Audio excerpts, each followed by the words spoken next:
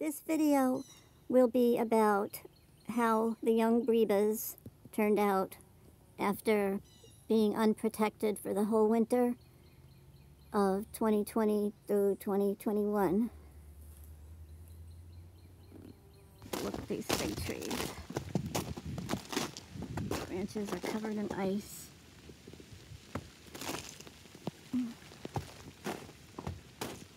Well, there's no way I can get out there and get the ice off of these, but we'll see. It's starting to melt now, so. Let's see how they are. Oh, still green under there. Oh, this is the hardy Chicago. I think if any of them are going to survive this ice storm, any of these buds to survive will be Chicago hardy. Before the winter was over, we'd have two ice storms and a few snowstorms. The snow here gets at most a few inches and usually melts within a few days. Today's April 1st, 2021, and looks like these LSU purple are, survived the winter good. The top branches, the tips, which usually die back, um, are actually producing brebas this year. Um, this is the fourth winter we've had this tree in the ground here in Virginia's and I think it's getting stronger. But um, it was our first tree to actually starting to get green buds after the winter. And those little brebas there Brebas are figs that form on the last year's wood. And so the little figs here, figlets, I like to call them, they should be ripe in 90 days if all goes well. The main crop of figs will grow later on this year's new wood.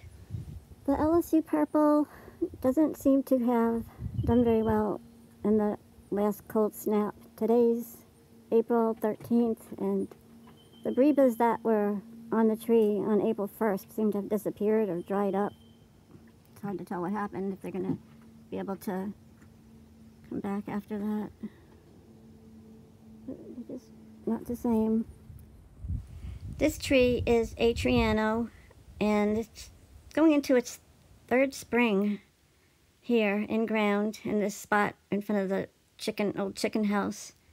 And it gets a lot of chicken droppings and feathers on the ground around it. So it's getting brebas this year. And now it's getting lots of brebas. All up in here. Atreano is known for its excellent brebas, although I've never tried them. I've read about them in forums. I'm looking forward to trying some. Yeah. It's April 1st. We're expecting another cold snap tonight, maybe a hard freeze, so I hope they'll survive.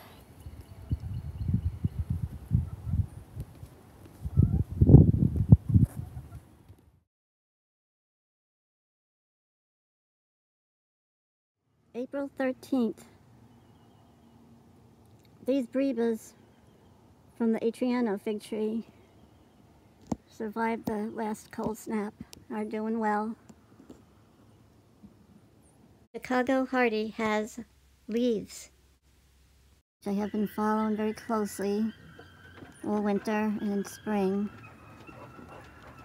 And they are finally, definitely present.